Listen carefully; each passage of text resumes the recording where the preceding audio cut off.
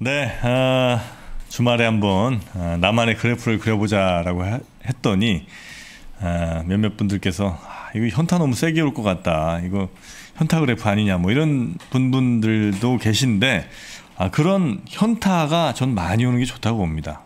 자꾸 여러분이 어, 나의 현재 상황 혹은 나의 지난 과거들을 어, 윤색하거나 각색하거나 그런 경우들이 많아요. 내가 사실은 잘못한 건데 그냥 어, 쓱 좀 이렇게 스스로의 어떤 자존심 때문일 수도 있고요. 아니면 뭐 어, 내 잘못된 선택을 인정하기 싫어서일 수도 있겠습니다만 그런 것들 쓱 이렇게 뭉갠다든지 모른 척 하는 경우가 많거든요. 그런 거 나는 직면 우리가 직접 그 대면을 해야 된다고 봅니다. 예, 그래서 여러분의 현실을 나의 현실을 아, 파악을 해야 된다는 거죠. 정프로부터 하라고요? 알겠습니다. 저부터 한번 그 그래프 직접 제가 아, 대면하면서 아, 저의 잘못된 선택의 원인도 한번 파악을 해보고 그 잘못된 선택을 반복하지 않으면 된다는 겁니다. 지난 일, 뭐 울어봐야 무슨 소용이 있겠습니까? 일단 그걸 반복하지 않는 게 중요한 것이죠. 자, 그럼 오늘 순서 한번 본격적으로 시작해 보도록 하겠습니다. 오늘 반도체 아, 관련된 이야기를 조금 많이 드릴 것 같은데요. 하이투자증권의 성명섭 수석 연구위원님과 함께하겠습니다. 어서 오십시오. 네, 안녕하십니까. 네, 반갑습니다. 자, 요즘 반도체 힘듭니다. 아시죠? 네. 네. 사실 오늘 올 때도 약간 좀 마음이 좀 무거웠어요. 왜냐하면은 네. 오늘 좀 이렇게 그 좋은 말씀을 드리지 못할 것 같아서. 아 그래? 네, 약간 좀 나쁜 말씀 드려야 될 것 같아서 마음이 좀 이렇게 썩 그, 가볍지는 아, 않습니다. 일단 저 우리 사무실 문 좀 잠그고 하나 하나 여쭤보도록 하겠습니다. 어, 반도체가 연초쯤도 그랬고 뭐 한 두세 달 전까지도 계속 좀 좋다는 얘기를 많이 들었던 것. 제 기억이 물론 잘못됐을 수는 있습니다만 뭐 가격도 올라가고 뭐 슈퍼 사이클 뭐 이런 얘기도 좀 제가 얼핏 좀 들었던 것 같고요. 어 뭐 spot price 그러니까 spot 가격뿐만 아니라 어, 고정 가격도 뭐 올라간다 이런 얘기를 뭐 반도체 뭐 shortage도 많이 나고 하여튼 등등의 이야기가 제가 좀 많이 섞여 있겠습니다만 여튼 결론은 반도체 좋다는 얘기를 많이 들었었던 것 같습니다. 그렇지 네. 않죠 지금 현실은? 음 제가 사실 오늘 아침에 이제 하반기 반도체 산업 전망 보고서를 네. 냈는데 이제 그 매수 투자 의견은 유지를 했습니다만 이제 삼성전자 음. 하이닉스에 대한 목표 주가는 하향 조정을 했어요.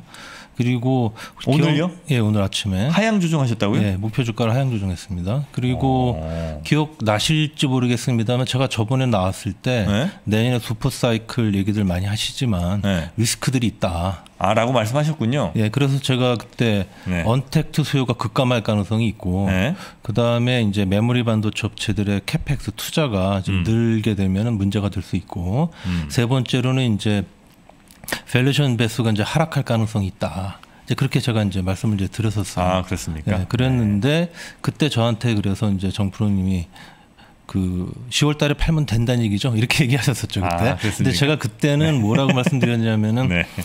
그때 가서 봐야 된다. 네. 예, 그렇게 말씀을 드렸었는데 네. 근데 이제 조금 그 제가 말씀드린 이 세 가지 리스크가 음. 조금 강화되고 있는 그런 상황인 것 같습니다. 아, 네, 그래서 그거 관련한 말씀을 오늘 좀 드리려고 오늘은 아마 좀 그림을 좀 많이 보여드려야 될 것 같습니다. 아. 약간 좀 어렵고 심각할 수 있는데 네. 그래도 뭐 어, 어떤 나쁜 점이 있으면 네. 그걸 또 알려드려야 될 필요도 있는 거니까. 자, 그러면 일단 뭐 하나하나 설명해 주시겠습니다만 일단 그럼 결론은 약간 파는 쪽입니까? 아니요 일단은 그 주가가 그동안 좀 조정이 있었죠 꽤 네. 그리고 실적 모멘텀은 아직은 좀 살아 있고 네. 어, 그런 상황이기 때문에 일단 매수 투자 의견 일단 유지하고 그 다음에 주가 반등도 있을 수 있다라고 보는데 근데 하향 조정 왜 하셨어요? 그거는 이제 목표 주가를 하향 조정한 거죠. 매수 투자 의견도 유지를 하지만 그러니까 아. 이제 너무 높게 주가를 보시면 안 된다는 얘기고 아, 그다음에 주가가 어느 정도 회복이 나오면 음. 그러면 거기에 추격 매수를 하실 필요는 없다. 음. 네, 이제 그런 말씀이 되겠습니다. 여튼 근데 심각한 상황들이 그러니까 과거에 예측하셨던 것보다 그 심각의 정도가 조금 더 심해졌다. 심각하다기보다는 그런 조짐이 조금씩 강화되고 있는 모습들이 나타나고 있다는 거예요. 아, 네. 좋습니다. 그러면 하나하나 말씀 네네. 들어보도록 하겠습니다. 네, 자료를 한번 좀 띄워주시죠. 네. 이건 무슨 네, 그림이죠? 네, 지금 그 3페이지로 되어 있는 부분 보시면 네. 지금 이게 중국, 미국, 유럽의 IT 수요 그예요. 그러니까 소매 매출액이니까 이제 수요죠. 그다음에 수요 YY 증감률인데 음. 보시면 미국 같은 경우에는 이제 4월달에 굉장히 높게 그 증가율이 올랐죠. 이제 좋은 거죠. 근데 그러나 지금 상황을 보시면은 3월, 4월달에 벌써 코로나 이전 수준을 지금 회복을 했고 근데 최근 상황을 보면은 미국에서 그 제조업 쪽이 약간 정체고요. 네. 지금 뭐 서비스업 이런 쪽이 좀 많이 올라가고 있어요. 네. 그래서 이 YY 증감률이 지금 4월 달에 굉장히 높은데 음. 5월 달부터 내리기 시작할 것 같고 네. 6월 달엔 좀 빠르게 내리기 시작할 것 같습니다. 음. 그리고 유럽도 좀 뭐 그런 상황이고 특히 이제 중, 문제가 되는 게 중국의 IT 수요인데 음. 그림 3을 보시면은 지금 사실 중국 같은 경우에는 그 코로나의 악영향이 작년 2월, 3월, 4월에 3개월에 걸쳐서 아주 짧게 끝났어요. 네. 그러면서 5월부터 굉장히 빠르게 회복이 되었단 말이에요. 음. 그래서 올해 2월에 이제 46%의 그 수요 증가율이 나오면서 그때 굉장히 이제 좋았는데 음. 그때 이후로 해가지고 어, 수요가 이제 떨어지기 시작을 하면서 네. 증가율이 지금 4월 기준으로 한 6% 수준까지 떨어졌고 음. 5월 달 가면은 이게 마이너스로 갈 가능성도 있어요. 네. 그러니까 중국 쪽의 수요가 조금 안 좋은 상황이 됐다는 얘기고요. 음. 그래서 제가 지금 다음 페이지 보시면은 네. 올해 디램 수요 증가를 언택트 수요가 워낙 그 강했기 때문에 음. 1분기까지 이제 좋았기 때문에 27.8%의 올해 수요 증가율을 원래 제가 봤었죠. 네. 근데 이거를 제가 24.7%로 낮췄고요. 그 다음에 내년의 수요 증가율을 제가 시뮬레이션 해보니까 17.9%로 디램 수요 증가율이 더 내려갈 것 같다. 음. 이왜 이렇게 제가 했는지는 이제 설명을 드릴 겁니다. 네. 자, 그러면 이제 언택 수요의 가장 핵심이 이제 노트북이었죠. 네. 노트북 쪽의 동향을 보시면은 음. 그림 4에 보시면 이제 대만 노트북 ODM 출하량을 한번 보면 네. 굉장히 이제 좋았는데 지금 4월 달에 3월 대비해서도 한 20 몇 퍼센트 빠졌고요. 음. 출하량이. 음. 이제 YY 증감률이 여기 보시는 것처럼 200%까지 치솟다가 네. 지금 이제 거의 0%의 상황으로 좀 내려오는 상황이 돼 버렸어요. 어. 예, 그런데 네. 그 이 대만 노트북 ODM 업체들 중에서 제일 큰 데가 이제 퀀타란데요. 네. 제가 이제 요번에 자료를 쓰기 위해서 이제 대만의 굉장히 여러 회사들과 이제 음. con-call을 했는데 그쪽에서 이제 나온 얘기가 지금 노트북 고객들이 2분기와 하반기에 노트북 주문을 줄였다. 음. 그렇게 얘기를 하고 그다음에 네. HP도 자기네 원래 자체 예상치를 한 10% 이상 줄였다. 네. 그렇게 지금 얘기들이 나오고 있단 말입니다. 이 얘기는 뭐냐면 작년 하반기와 올해 1분기까지 굉장히 수요가 좋았기 때문에 네. 그 목표치를 상당히 높게 잡아놨는데 음. 막상 수요가 1분기 후반 4월 달에 들어오면서 생각보다 안 나오니까 음. 그러니까 이제 그 주문량을 줄이기 시작하는 거죠. 그러니까 이 언택트 수요가 둔화되기 시작했다 그 말입니다. 지금 노트북 쪽에서. 아 근데 이게 좀 증감률로 이렇게 이제 봐서 그렇긴 하지만요. 예를 들어서 뭐 글로벌하게 50만 대를 팔고 있었어요. 그러다가 작년에 100만 대를 팔았어요. 이제 100% 증가한 거죠.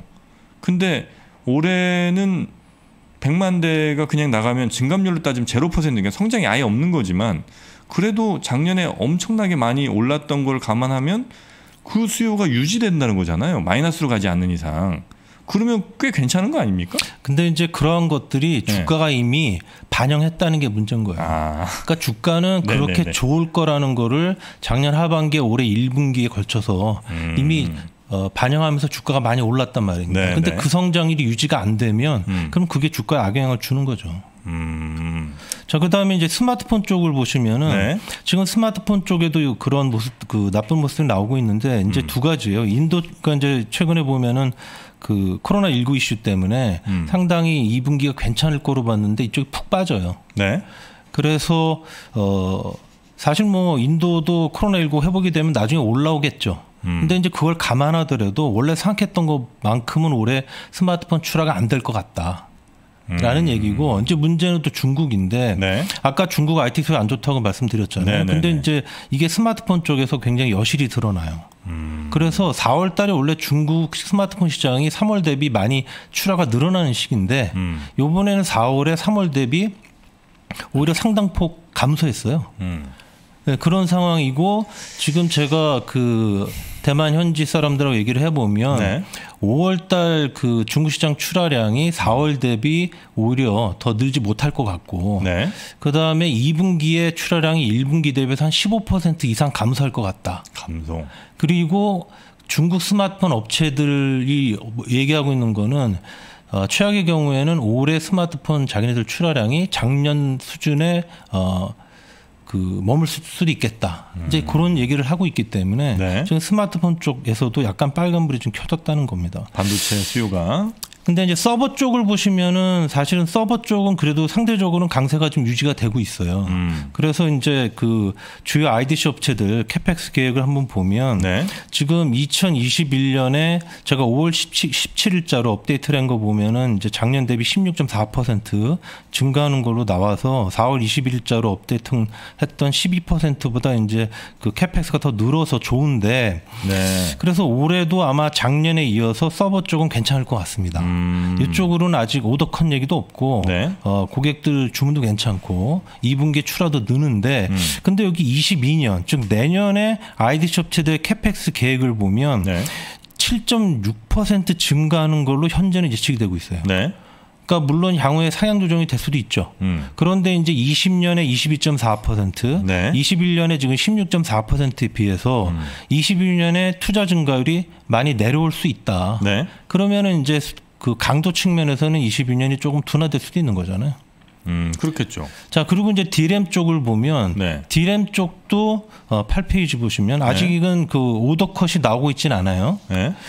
여기는 왜 그러냐면은 이 그림 9에서 보시는 것처럼 지금 고객들 재고도 지금 정상 수준에 있고 음. 아직은 그 다음에 디램 업체들의 재고가 또 워낙 낮기 때문에 그러니까 오더컷이라는 거는 이제 주문을 원래 거. 100을 준다고 했다가 80으로 깎아버리는 거죠. 네. 네. 그런데 이제 그 디램 업체들 재고가 또 워낙 낮기 때문에 음. 디램 쪽으로는 아직은 오더컷도 없고 네. 괜찮고 이제 그런 상황입니다. 근데 이제 그러다 보니까 2분기에 그림 10에서 보시는 것처럼 디램 ASP 증가율이 18% 나오고 3분기도 한 12% 정도는 나올 수 있을 것 같아요. 네네. 이거 괜찮죠. 그래서 네. 3분기 실적까지는 굉장히 좋을 것 같단 말입니다. 음. 근데 지금 그 4분기 쪽을 한번 보면은 지금 사실은 그 IT 셋업체들이 굉장히 마진이 지금 그 스퀴즈 되고 있어요. 마진이 다 아니 아니요. 전 지금 전반적으로 다 현재 네네네. 이유는 지금 뭐 반도체뿐만 아니라 모든 원재료 뭐 각종 부품들 가격이 다 오르니까 음. 그러니까 셋업체들 입장에서는 마진이 압박이 당연히 들어오겠죠. 네. 그러니까 그 사람들 입장에서는 사실 하반기에는 웬만해서는 가격을 안 올려 주려고 음. 지금 많이 지금 그 벼르고 있다는 거예요. 어. 그러니까 지금 이거는 어, 예를 들면 뭐 CPU나 GPU 같은 반도체는 네. 그 세트당 예를 들면 PC당 하나씩 들어가는 반도체니까 네. 그거를 안 살 수는 없죠. 음. 그런데 디램이나 낸드 같은 경우는 사실은 이제 양이 많이 들어가는 거니까 네. 정그 마진 압박이 생기면 그러면은 거기 PC 안에 들어가는 그런 디램 낸드의 양을 좀 줄일 수도 있어요. 아, 가격이 너무 높으면. 음. 그러면 이제 수요가 또 이제 문제가 될 수 있거든요. 네, 그래서 네. 4, 3분기까지는 문제가 없는데 네. 가격이 4분기부터는 그 가격 상승폭이 좀 올라가기가 음. 좀그 버겁지 않겠나 이제 이런 네. 생각이 좀 들고 아. 제일 중요한 거는 주가에 그 굉장히 영향을 많이 주는 게 현물 가격이거든요. 현물 가격. 예. 현물 가격이 지금 아시는 분들은 아시겠지만은 많이 올랐다가 최근에 와서 내리고 있어요. 언제가 최고였어요? 그림 10일 한번 보시면은 네. 이게 이제 그 3월 상반기까지 오르다가요. 3월 상반기. 예. 하반기부터 지금 내려오고 있거든요. 그러니까 올해 3월이 최고였어요. 네네. 아. 그런데 그 왜 지금 가격이 내리냐면은 여기 이제 그 회색 부분으로 프리미엄이라고 그 칠해진 네, 네, 부분이지 네, 않습니까? 이게 현물 가격이 고정 가격 대비 얼마나 더 가격이 높으냐 그 얘기입니다. 네. 이게 워낙 높았어요. 현물 가격이 고정 가격 대비 너무 높으니까 현물 시장에서 그만큼 수요가 떨어졌어요. 음. 그래서 지금 현물 가격이 지금 내려오고 있는데 네. 근데 이제 그 현물 가격은 약간 좀 반등이 나올 수 있는 그런 가격대까지 왔거든요. 음. 그래서 현물 가격이 좀 반등이 나올 수 있는 그런 상황이고 만약에 음. 그게 오르면 네. 그러면 이제 주가도 반등이 나올 수 있습니다. 그런데 문제는 음. 오른쪽에 이제 그림 12 보시면은 제가 주요 PC D램 관련 업체별 D램 재고 변화라고 해놨는데 네. 다른 데들은 재고가 적은데 음. 이 모듈 업체라고 돼 있는 부분 있잖아요. 네네. 얘네들이 이제 뭐 킹스턴이나 에이데이터나 팀그룹이나 이런 그 어, 회사들인데 현물 시장의 제일 큰 손이에요, 얘네들이. 음. 근데 얘네들 재고가 작년 연말에 6주였다가 네. 지금 10주 이상 12주, 13주까지 올라와 있어요. 아, 재고가 많군요. 많이 올라왔어요, 재고. 쌓아둔 게. 그렇죠. 가격이 오를 것 같으니까 쌓아둔 거죠.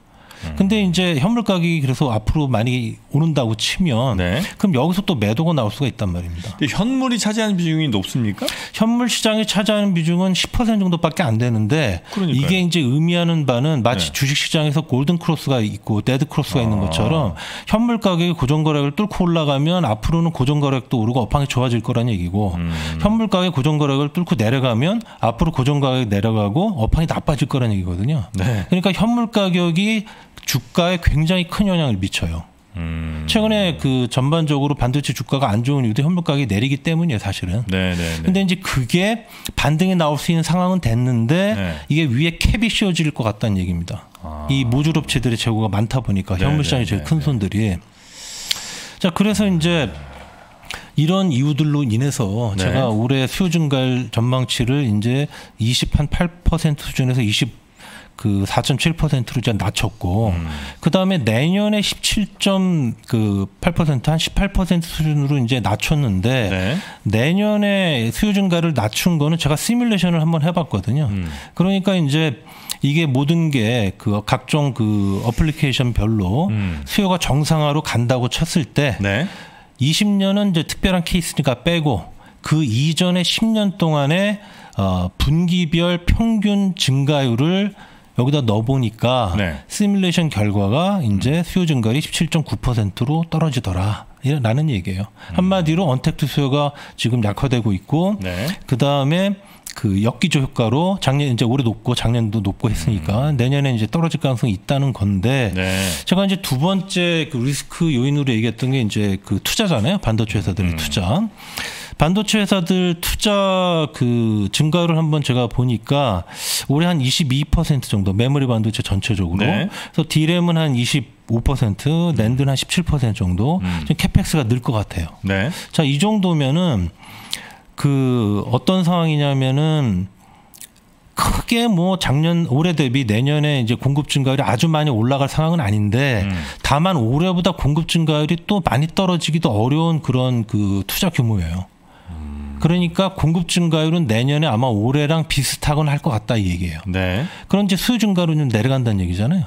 아, 네. 공급은 계속 이렇게 안정적으로 올라가고 있고. 그렇죠. 네. 그래서 여기 그 12페이지 그림 14 보시면 제가 음. 이건 전에도 한번 보여드렸던 것 같은데 메모리 반도체가 업황이 좋아가지고 매출이 올라가면 그러면은 마지막 해에 아, 투자가 늘면서 그 다음 해부터는 이제 업황이 둔화되고. 네. 근데 이런 것들이 있는데 지금 이제 CAPEX가 이 정도 늘게 되면은 그러면은 내년에 공급 증가율이 크게 떨어지기를 기대하기는 좀 어렵지 않냐 이 얘기입니다. 음. 자 그러니까 여기 그 디램하고 낸드 수급을 한번 봤을 때. 네. 디램도 그렇고 낸드도 그렇고 올해는 수요 증가율이 공급 증가율보다 높아서 좋은데 네. 내년에는 수요 증가율보다 공급 증가율이 높을 것 같다. 근데 올해는 그럼 수요 증가율보다 공급 증가율이 높으니까 좋은데 네. 그 가격이 지금 반영돼 있는 거예요? 그렇죠. 아 그래요? 네.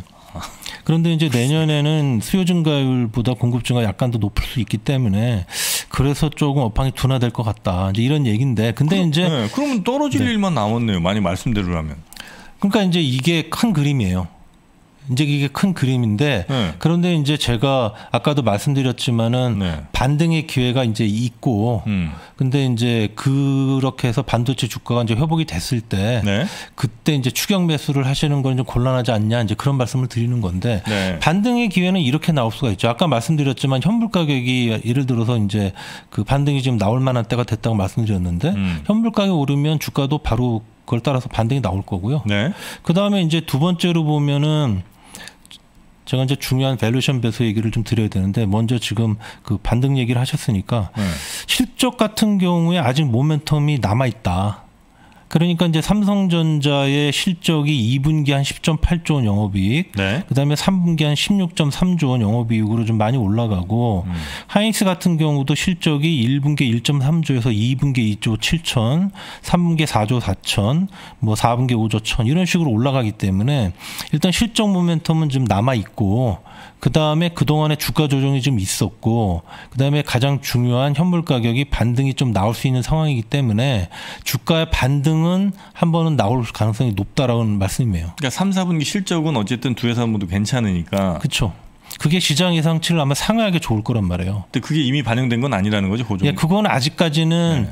그 시장 전망치를 상회하는 실적이 나오게 되면 음. 그러면 그거는 어느 정도 주가의 pricing이 될 거란 말이죠. 그럼 이제 그 우리가 투자자 입장에서 좀 기대할 수 있다는 거는 3, 4분기 실적이 좋을 것이니까 지금보다는 좀 더 가격이 올라갈 가능성이 좀 있다. 그렇죠. 그러나 내년 혹은 뭐 그 이후를 좀 장기적으로 살펴보면 공급이 이렇게 늘어나고 가격이 네. 더 떨어지거나 아니면 올라가지 않을 가능성이 높기 때문에 네. 안 좋은 거죠. 그렇죠. 올라가봐야 조금 올라갈 수 있고 만약 떨어진다면 더 많이 떨어질 수 있는 건데. 뭐 그럴 수 있죠. 그러면 사실 그 정확하게 노리기 어려운 사람이면 그 안 하는 게 맞는 거 아닙니까? 그래서 지금 현재 상황에서 그러니까 이제 그 보유하고 계신 분들은 네. 주식을 보유하고 계신 분들은 저는 그때 가서 주가가 이제 어느 정도 회복이 나왔을 때 그때 더 사시지 마시고 아 차라리 예 그때는 조금 어 주식을 좀 현금화하는 일부를 일부라도 그런 전략을 하시는 게 좋다라고 생각을 하는 거예요. 그렇습니까? 네. 그럼 저 이, 이, 지금 이 상황이 예를 들면 미국의 뭐 마이크론이라든지 뭐 이런 다른 반도체 회사들도 다 비슷해요? 아니면 네 똑같죠. 특... 아 그래요? 네 똑같습니다.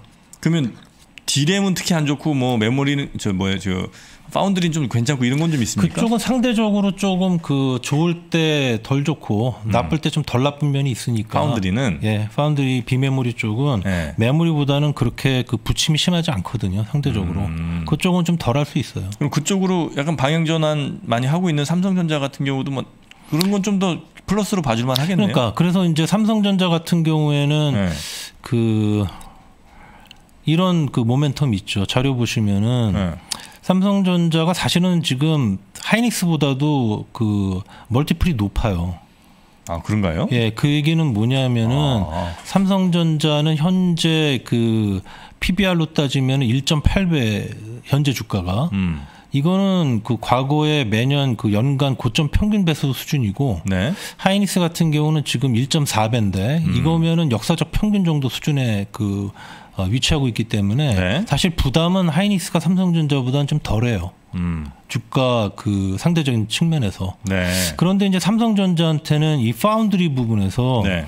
지금 지금 뭐 삼성전자에 대한 파운드리 그 이 부분에 대한 기대가 작년부터 굉장히 높았는데 저는 음. 사실은 이거 그렇게 뭐 크게 기대하지 마시라고 말씀드려왔는데 음. 그렇다 하더라도 지금 3나노에서 이제 gate all around라는 거 GAA 그러니까 이런 것들이 이제 성공을 좀 하게 되면 네. 그러면은 이제 파운드리 부분에서 TSMC와의 격차가 좀 좁혀질 수 있고 음. 이제 그렇게 되면은 그 이게 valuation 배수를 좀 높이는 그런 그 rerating 네. 그런 영향을 좀 줄 수가 있는 면이 있고 그다음에 또 삼성전자가 지금 M&A 그 NXP를 인수한다든지 뭐 네 이런 네. 여러 가지 얘기들이 있잖아요. 그래서 음.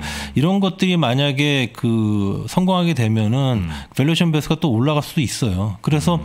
그런 것들까지 감안해서 제가 말씀드리는 겁니다. 네. 그 질문이 좀 하나 들어왔는데 그 어쨌든 반도체는 뭐 상당 거의 대부분 수출을 많이 할 거 아닙니까? 네. 그러면 그 환율이 굉장히 중요할 텐데 이 환율 변동성 관련해서 반도체 업체들의 순수 마진이 어떻게 될지 요거 혹시 좀 이게 중요한 겁니까 아니면 그거는 그 환율이라는 건 사실 약간 후행적인 거예요. 네. 그 물론 이제 원 달러 환율이 오르게 되면 음. 당연히 수출을 많이 하니까 네. 그러니까 이제 회사들 실적에 약간의 도움이 되긴 합니다. 음. 그러니까 뭐 연간 이익에 뭐 10원 정도 그 평균 환율이 연간 오르게 되면 음. 그러면 이제 몇 천억 네. 그럼 한 6천억 그 다음에 삼성전자 기준으로는 음. 제가 뭐 요새는 정확히 계산을 안 해봤는데 음. 몇년 전에는 한 6천억 정도 그 영업이익이 는 효과가 있었고요. 음. 하이닉스는 한 1,600억 정도 이 정도 영업이익이 는 효과가 있었어요. 네네네. 근데 이제 그런 그 긍정적인 그런 요인들이 있긴 한데, 음. 근데 사실은 그거는 주가에 아주 큰 영향을 미친 요소는 아니에요. 음, 네. 그 여러분이 좀 오해하지 않으셔도 괜찮은 게요. 어. 우리 저 송영섭 연구위원께서는요, 아, 그 전부터 이 메시지를 거의 일관적으로 하셨습니다. 근데 제가 이제 워낙 많은 반도체 전문가 분들을 만나다 보니까 좋다, 좋다 이런 얘기 이제 많이 들었잖아요. 그런 이야기들 중에 저는 이제 늘 좋은 것만 기억을 하거든요. 저는 뭐. 정확히 기억합니다. 그때 저한테 10월 달에 네. 팔아야 된단 말이냐. 그러니까요. 네, 이분은 굉장히 그 일관성 있게 말씀하시는 분이라고 여러분 저 오해는 안 하셔도 좋겠습니다. 자, 그리고 그러면 저 질문 하나만 더 여, 네. 짧게 여쭤보겠습니다. MLCC도 아, 안 좋을 가능성이 높습니까? MLCC는 이제 제가 커버하는 그런 분야는 아닌데 음. 그런데 이제 제가 잠깐 그 그 MLCC 쪽을 커버하는 저희 회사 애널리스트랑 음. 얘기를 해보니까 MLCC 쪽에도 약간 뭐 안 좋은 신호들이 있다. 음. 뭐 그런 얘기를 하더라고요. 아 그렇습니까? 네. 네. 자 그리고 또 원래 하시던 네네. 얘기 좀 더 이어서 가겠습니다. 자 그 다음에 이제 제가 세 번째 리스크로 말씀드렸던 게 이그 음. valuation 배수의 하락 가능성을 이제 말씀 을 드렸었어요. 음. 그래서 지금 14페이지 지금 보시면은 제가 그때 글로벌 유동성 증감률이 이제 하락을 하고 있고 음. 요게 그 실적이 좋은데도 주가가 하락하는 이유라고 제가 말씀드렸습니다. 네네. 정프로님은 기억을 못 하시는 것 같지만. 자, 그래서 여기 그림 17을 보시면 네. 자, 글로벌 유동성 증감률하고 삼성전자 하이닉스의 그 valuation을 보시면은 네. 거의 뭐 똑같이 움직이고 네. 그다음에 최근에 이제 2월 달까지는 유동성 증감률이 올랐는데 3월 이후로 지금 이게 내려가고 있고 음. 이게 valuation 배수의 하락을 지금 불러오고 있다. 이게 문제다. 그렇게 말씀을 드렸고 음. 다만 그때 제가 뭐라고 말씀 말씀드렸냐면 음. 코로나19 지원금이 지금 다시 풀리기 시작을 할 거기 때문에 음. 그러니까 혹시 그러니까 이제 그 이 YoY 글로벌 유동성 증감률이 다시 약간 뭐 크게 올라가진 못하겠지만 음. 뭐 안정되거나 약간 회복될 가능성이 있다라고 제가 말씀을 드렸었습니다. 어, 자, 네네. 그런데 네. 그림 18을 한번 보시면은 음. 이게 이제 뭐냐면은 글로벌 유동성 그 금액 자체랑요. 그다음에 네. 그 매월의 전월 대비 유동성 증감이에요. 아. 자 보시면은 작년 1월부터 12월까지 이 글로벌 유동성이 늘어나는 이런 레벨하고 네. 그다음에 오른쪽에 제가 네모 표시를 해놓은 거는 2021년 올해부터 현재까지 1월부터 5월까지의 음. 유동성 증감이 지금 어떻게 나오냐를 보여드리는 건데 네네. 레벨이 내려왔죠. 에... 그러니까 작년 글로벌 유동성이 올해도 늘고 있긴 한데 에... 작년보다 늘어가는 속도가 느리다는 겁니다 지금. 음... 뭐 그렇겠죠. 네. 네. 그러다 보니까 결국 그 얘기는 뭐냐면은 YoY 증감률 측면에서는 내려간다는 얘기고 네. 오르기가 쉽지 않다는 얘기고 네. 그러면은 이제 삼성전자 하이닉스 주가 적용되는 valuation 배수도 사실은 어 이게 올라가기가 이제 쉽지가 좀 않게 됐다라는 말씀이에요. 음. 하나 마지막으로 더 보여드리면은 네. 요거는 조금 그 우리나라 그 전반적인 그 시장하고도 관련이 있는 건데 음. 자 여기 보시면 미국 ISM 제조업 지수에서 네. 서비스업 지수를 뺀 그런 지표 요거를 음. 제가 미국 ISM 제조업 상대 강도라고 말할게요. 음. 요거랑 그다음에 OL, OECD 경기 선행 지수를 제가 좀 비교해 놨는데 네네. 자 보시면 거의 비슷하죠. 음. 예, 이게 뭔 얘기냐면 네. 미국에서 제조업이 있고 서비스업이 있는데 네. 물론 미국은 서비스업이 더 비중이 큰 나라죠. 음. 자, 근데 미국에서 제조업이 올라와야 미국의 중간재를 팔아서 어, 먹고 사는 OECD 국가들의 경기가 좋다는 얘기입니다. 뭐 그러네요. 네, 그렇죠. 네. 자, 그런데 여기 보시면 제가 빨갛게 표시를 해놨는데 여기 내려오기 시작을 했어요. 좀 작게 보입니다. 네, 작게 보이지만 어쨌든 올라갔다가 내려오고 있다. 이거는 네. 뭐냐면은 제조업은 정체되고 있는 상황이고 미국에서 네. 지금 서비스업이 올라오고 있다는 거죠. 이건 뭐 이 얘기 많이 들으셨을 거예요. 미국에서 음. 뭐 아까 뭐 네, 카지노 네, 얘기도 하시고 뭐 호텔 얘기 뭐 그런 얘기들 하셨는데 레스토랑. 자 그런데 우리나라 반도체 기업들이야말로 음. 미국의 중간재인 반도체를 그 팔아서 이제 먹고 사는 회사들이죠. 네. 그러다 보니까 오른쪽 그림 20에서 보시는 것처럼 우리나라 반도체 회사들의 valuation 배수가 음. 이 미국 ISM 제조업 상대 강도하고 거의 또 비슷하게 움직이죠. 음. 그런데 이게 미국에서 이 ISM 제조업 상대 강도가 떨어지기 시작을 했기 때문에 사실 이거는 역시 valuation 배수에는 부정적인 얘기죠. 음. 자, 그래서 이제 제가 이제 말씀을 이제 드리는 게 네. 제가 왜 그 목표 주가를 하향할 수밖에 없었냐. 음. 보시면은 이제 지금 저뿐만 아니라 삼성전자 하이닉스 그 목표 주가를 애널리스트들이 이제 제시를 할때 음. 워낙 유동성이 많이 풀렸기 때문에 과거에 봤던 가장 높은 그 valuation 배수를 적용해서 목표 주가를 제시를 해왔단 말이에요. 네. 그런데 지금 유동성 증가율도 빠지고 ISM 제조업 상대 강도도 빠지고 보니 음. 이런 상황에서 과거에 가장 높았던 배수를 적용하기가 쉽지가 않다는 거죠, 이제는. 음. 그러니까 valuation 배수를 좀 낮출 수밖에 없었고 네. 그게 이제 목표 주가를 하향하게 된 원인이다. 음. 라는 겁니다. 그래서 이제 다시 한번 결론을 말씀드리면 네. 지금 제가 이제 전에 그 말씀드렸던 그런 네. 세 가지 리스크들이 네. 제가 지금 현재 상황에서 보니까 네. 조금 더 그 생각보다 좀 빨리 나빠지고 있고 네. 결국은 그렇게 되면은 이제 내년에는 이제 반도체 업황이 그 올해보다는 조금 이제 둔화될 가능성이 있고 물론 네. 그 재고가 많지 않기 때문에 옛날처럼 네. 급락하지는 않을 거예요. 근데 분명히 이제 좀 조금씩이라도 둔화는 될 것 같고 그 다음에 valuation 배수를 결정하는 요인들도 조금 내려가고 있기 때문에 음. 전반적으로 큰 그림으로는 조금 이제 그 어, 리스크를 인식하셔야 될 음. 이제 그런 타이밍이고 다만 말씀드렸다시피 실적 모멘텀이 아직은 시장 예상치를 상회하는 실적이 나올 가능성이 있고 높고 네. 현물 가격도 좀 반등이 나올 만한 구간이기 때문에 주가 반등이 이제 뭐 어느 정도 그 나올 수 있다. 음. 그런데 이제 그렇게 주가가 이제 회복된다고 해서 했을 때 음. 거기에 추격 매수를 강하게 들어가시는 거는 별로 권하지 않는다. 음. 이제 그런 말씀입니다. 그 어, 저 이제 일반 투자자들은 이제 이런저런 뉴스들도 이제 많이 참고를 하실 거 아닙니까? 뭐 이런 구체적인 숫자들은 이제 미처 보지 못한 상황에서 예를 들면 어떤 뉴스들이냐면 아, 바이든 대통령이 이렇게 막 그 웨이퍼 막 들면서 아, 반도체 우리나라 막 이런 얘기를 하잖아요. 그러면 이제 미국의 반도체 공장들은 이제 어, 삼성이 짓고 뭐 SK가 짓고 뭐 이렇게 할 거 아닙니까? 그러면 미국에서 그렇게 짓는데 설마 미국의 뭐 정부든 아니면 미국에서도 이 공장 망하게는 안 할 거 아니에요. 어떻게든 이제 소비를 좀 많이 할 것 같은데. 아, 그렇지. 아니 그거는요. 너무 이건 희망 섞인. 아, 그거는 이제 굉장히 이제 정치적이고 뭐 이런 이슈인데 네. 지금 이제 그 미국이 노리는 거는. 네. 지금 이제 반도체 공장들이 뭐 TSMC도 그렇고 삼성전자도 그렇고 하이닉스도 음. 그렇고 지금 뭐 대만 한국에 있으니까 네. 이제 중국 근처에 있지 않습니까? 네네. 그러니까 정말 최악의 경우에는 네. 그쪽이 봉쇄가 될 경우에 미국의 이제 그 산업뿐만 아니라 군사적인 이런 측면에서 상당히 악영향이 있을 수 있으니 안정적으로 생산하겠다. 예, 그쪽에다가 짓지 말고 앞으로는 네. 이제 미국에다 지어라. 네. 이제 이런 얘기를 하는 거거든요. 네. 이제 미국에서 그렇게 그 요구를 하니까 네. 그러니까 뭐 TSMC 삼성전자도 미국에다 짓겠다고 결정한 거잖아요. 네네. 근데 사실은 미국에다가 반도체 라인을 짓는 건 굉장히 생산성 측면에서 안 좋은 얘기예요. 왜요?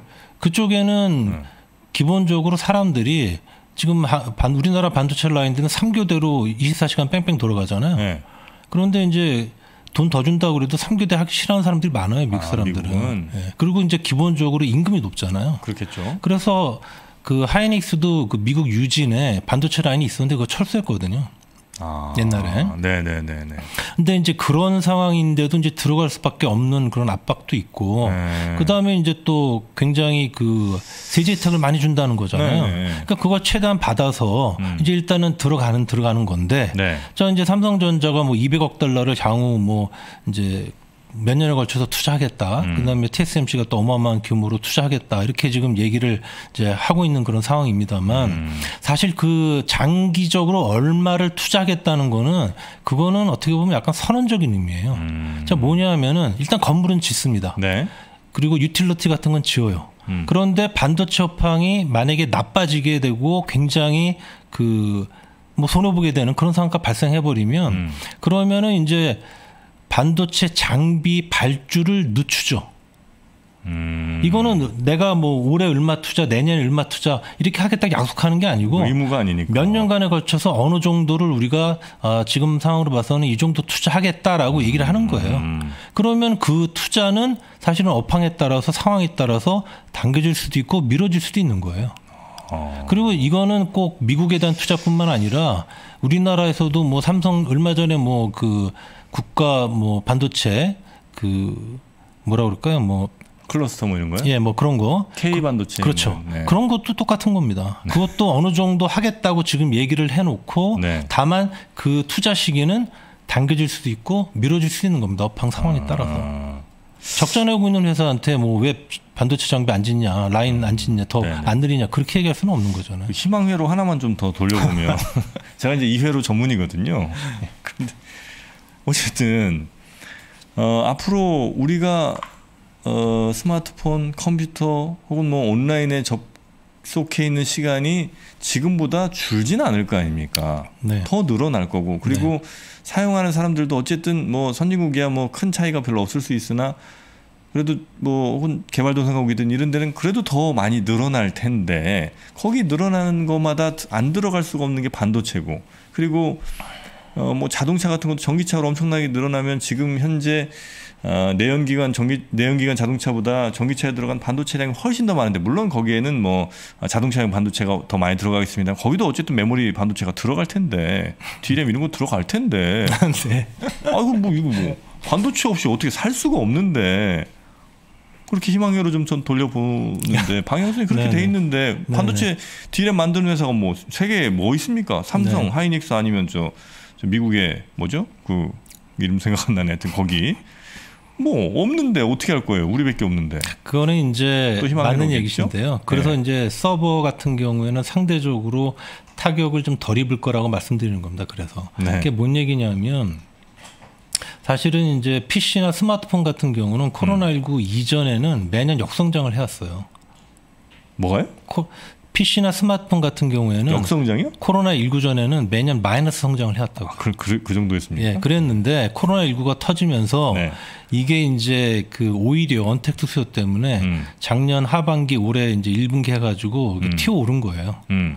그러니까 이제 이게 그 다시 정상으로 돌아가면은 네. 그러면 역성장으로 돌아가는 가능성이 높은데 어. 그런데 이제 서버 같은 경우는 말씀하신 대로 뭐 네. 5G나 스트리밍 음. 서비스나 그뭐 IDC 뭐 AI 해가지고 그쪽은 이제 수요가 꾸준하게 느니까 음. 그러니까 이제 서버 같은 경우는 언택트 수요하고는 약간 별개로 네. 얘네들은 올해 하반기나 내년에도 상대적으로 양호할 거다라고 제가 말씀을 드리는 거예요. 그런데 네.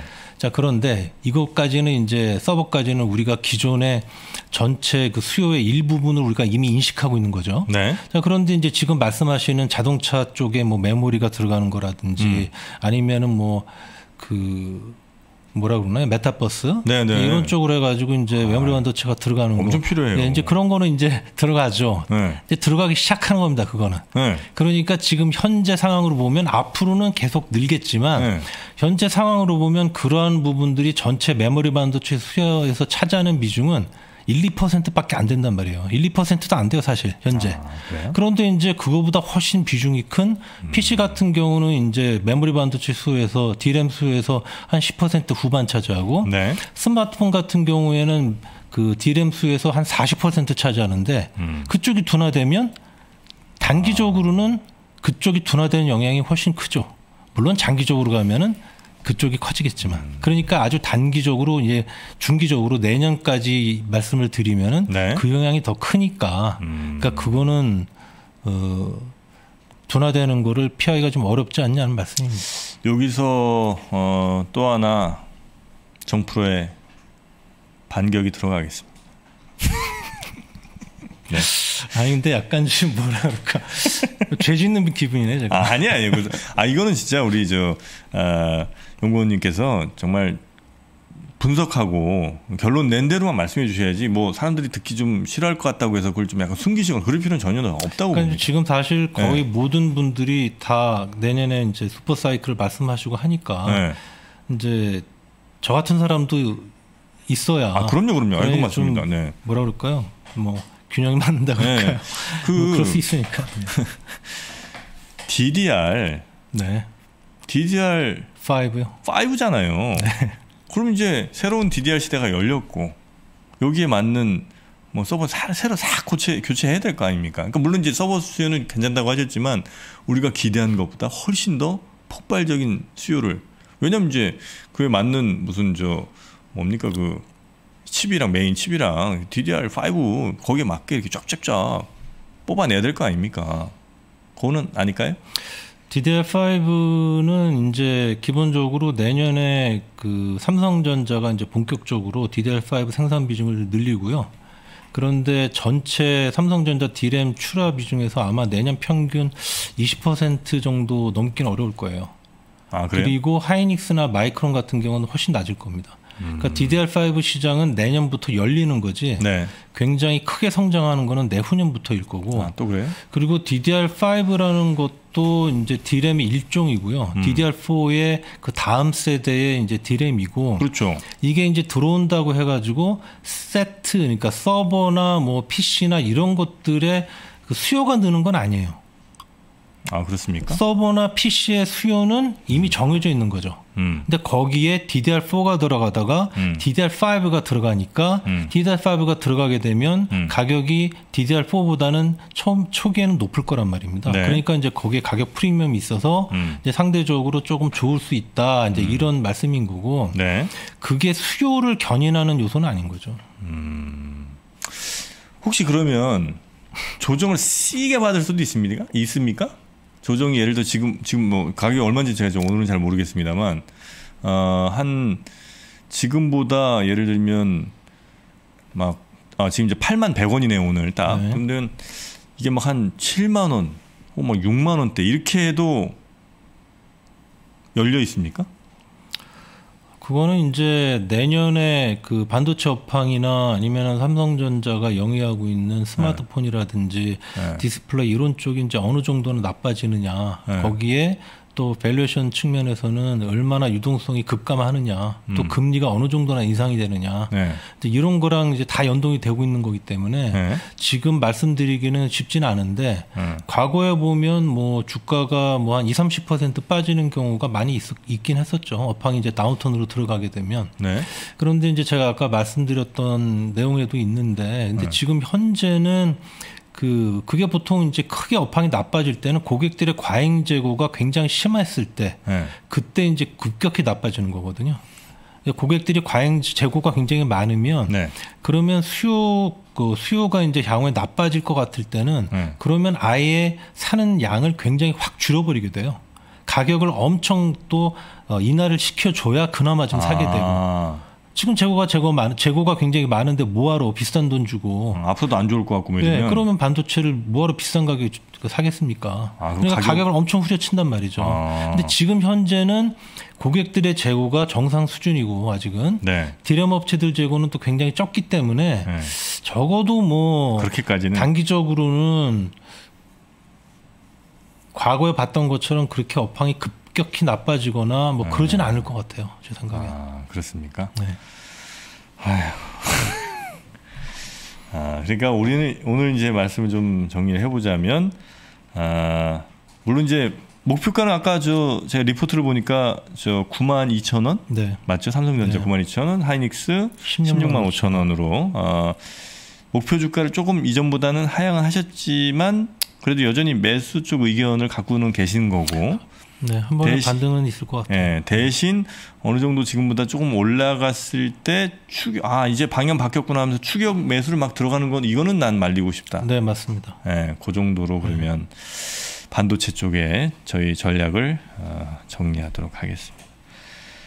아, 이거 한 슈퍼 사이클은 안 옵니까? 혹시 뭐 한 2년 후라도 오면 그냥 좀 버틸 수도 있을 것 같기도 한데 그런 그런 슈퍼 사이클은 기대하기 좀 어려운 상황일까요? 그러니까 이제 그거는 이제 두 가지가 겹쳐서 겹쳐야 발생할 수 있어요. 네. 그런 일이 발생하려 그러면 업황이 한번 되게 나빠야 됩니다.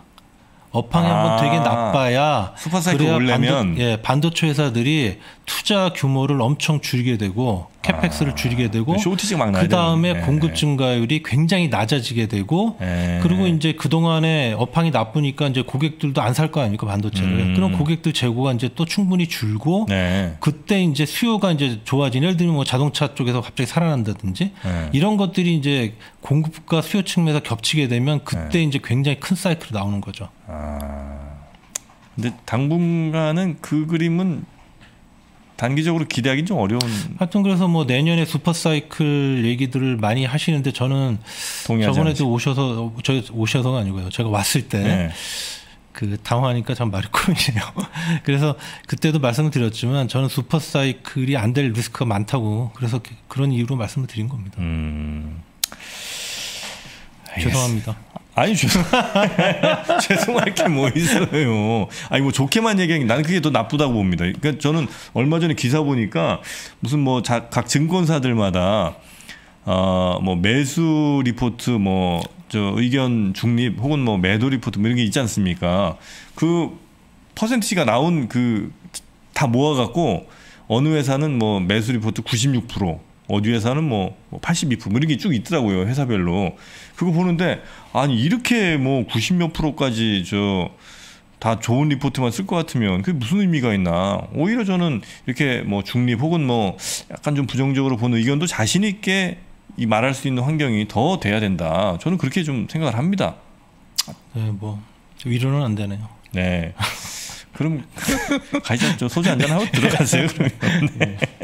자 오늘 하여튼 우리 반도체 관련해서 아, 다른 분들 막 좋은 얘기들 많이 해주실 때 아닐 수도 있다. 아, 그리고 리스크도 분명히 존재한다. 그리고 리스크는 그리고 과거에 보셨을 때보다 더 짙어졌다. 라는 네, 그 정도로 봐주시면 좋겠습니다. 네, 용기 있는 네. 말씀 음, 주셨습니다. 오늘 함께 해주신 분은요 하이투자증권의 송명섭 수석 연구위원님이셨고요.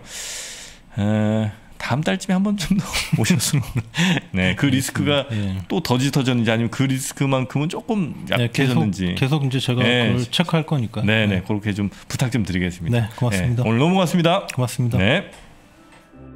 매달 월급처럼 따박따박 배당을 받는 ETF 그리고 1년 사이에 10배가 오른 테슬라 미국 시장에 상장을 준비하는 쿠팡까지 소식은 많이 들리지만 미국 주식 투자를 시작하기에 아직은 어색하신가요? 포스트 코로나 시대에 방황하는 20대부터 본업에서도 투자에서도 성과를 내고 싶은 30대, 노후를 준비하는 40대, 50대까지 미국 주식의 세계에 입문하신 분들을 위해서 3프로TV가 준비했습니다. 3프로TV 주식대학 봄학기 미국 주식에 미치다 장우석과 이항영의 미국 주식 완전 정복 미국 시장의 제도, 특징, 세금부터 기업의 가치 분석, 포트폴리오 유망 종목까지 장우석 본부장 이항영 대표와 함께 한 발자국씩 나아가면서 평생 투자의 기초를 탄탄하게 다지는 시간이 될 겁니다. 3프로TV가 미주미 미국 주식 완전 정보 클래스와 함께 여러분의 성공 투자를 응원합니다. 영상 아래 링크를 통해서 강의를 신청하실 수 있습니다.